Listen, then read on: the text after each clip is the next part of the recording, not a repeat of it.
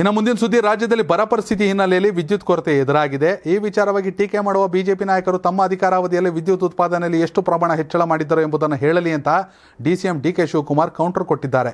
ಶಿವಕುಮಾರ್ ಅವರು ಕೆಪಿಸಿಸಿ ಕಚೇರಿಯಲ್ಲಿ ಮಾತನಾಡಿ ಅವರು ಮಳೆ ಬಿದ್ದಿದ್ದರೆ ಸಮಸ್ಯೆ ಇರ್ತಿರಲಿಲ್ಲ. ಮಳೆ ಪ್ರಮಾಣ ಕಡೆಗೆ, ಕಡಿಮೆ ಆಗಿರೋದ್ರಿಂದ ಈ ಪರಿಸ್ಥಿತಿ ನಿರ್ಮಾಣವಾಗಿದೆ. ಹಿಂದೆ ನಮ್ಮ ಸರ್ಕಾರ ಇದ್ದಾಗ ಇದೇ ಪರಿಸ್ಥಿತಿ ನಿರ್ಮಾಣವಾಗಿತ್ತು. ನಾವು ಆಗ ಹತ್ತು ಸಾವಿರದಿಂದ ಹತ್ತರಿಂದ ಹದಿಮೂರು ಸಾವಿರ ಮೆಗಾವ್ಯಾಟ್ ವಿದ್ಯುತ್ ಉತ್ಪಾದನೆ ಹೆಚ್ಚಳ ಮಾಡಿದ್ವಿ. ಕಳೆದ ನಾಲ್ಕು ವರ್ಷಗಳಲ್ಲಿ ಬಿ ಜೆ ಪಿ ಸರ್ಕಾರ ರಾಜ್ಯದಲ್ಲಿ ವಿದ್ಯುತ್ ಉತ್ಪಾದನೆ ಹೆಚ್ಚಳ ಮಾಡಿಲ್ಲ. ಹೀಗಾಗಿ ಪರಿಸ್ಥಿತಿ ಬಂದಿದೆ ಅಂತ ತಿಳಿಸಿದರು. ರೈತರಿಂದಲೂ ವಿದ್ಯುತ್ ಬೇಡಿಕೆ ಪ್ರಮಾಣ ಹೆಚ್ಚಾಗಿದೆ. ರೈತರಿಗೆ ಯಾವುದೇ ಕಾರಣಕ್ಕೂ ತೊಂದರೆ ಆಗದಂತೆ ನೋಡ್ಕೊಳ್ತಿದ್ದೇವೆ. ಈಗಾಗಲೇ ನಮ್ಮ ಸಚಿವರು ಕಾರ್ಯಪ್ರವೃತ್ತರಾಗಿದ್ದು ಸಮಸ್ಯೆ ಬಗೆಹರಿಸ್ತಿದ್ದೇವೆ. ಇಂಧನ ಸಚಿವರಾದ ಕೆ ಜೆ ಜಾರ್ಜ್ ಅವರು ವಿದ್ಯಾ, ಕೇಂದ್ರ ವಿದ್ಯುತ್ ಸಚಿವರ ಬಳಿ ಚರ್ಚೆ ಮಾಡಿ ಕೇಂದ್ರೀಯ ಗ್ರಿಡ್ಗಳಿಂದ ವಿದ್ಯುತ್ ಪೂರೈಕೆಗೆ ಮನವಿ ಮಾಡಿದ್ದಾರೆ ಎಂದರು. ಇನ್ನು ಪಕ್ಷ ಸೇರ್ಪಡೆ ಕಾರ್ಯಕ್ರಮಕ್ಕೆ ಮುನ್ನ ಕೆಪಿಸಿಸಿ ಕಚೇರಿ ಬಳಿ ಮಾತನಾಡಿದಂಥ ಅವರು, ಕಾವೇರಿ ನೀರಿನ ಹಂಚಿಕೆ ವಿಚಾರವಾಗಿ ಮತ್ತೊಮ್ಮೆ ಕಾವೇರಿ ನೀರು ನಿಯಂತ್ರಣ ಸಮಿತಿ ಮುಂದೆ ಮೇಲ್ಮನವಿ ಸಲ್ಲಿಸ್ತೀವಿ.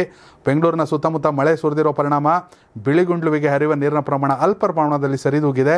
ಮಳೆ ಸುರಿದಿದ್ದು ಎರಡು ಮೂರು ದಿನ ಮಾತ್ರ ಇನ್ನೂರಕ್ಕೂ ಹೆಚ್ಚು ತಾಲೂಕುಗಳಲ್ಲಿ ಬರ ಪರಿಸ್ಥಿತಿ ಇದ್ದು ಸಂಕಷ್ಟದಲ್ಲೇ ಇದ್ದೀವಿ ಅಂತ ಹೇಳಿದ್ರು.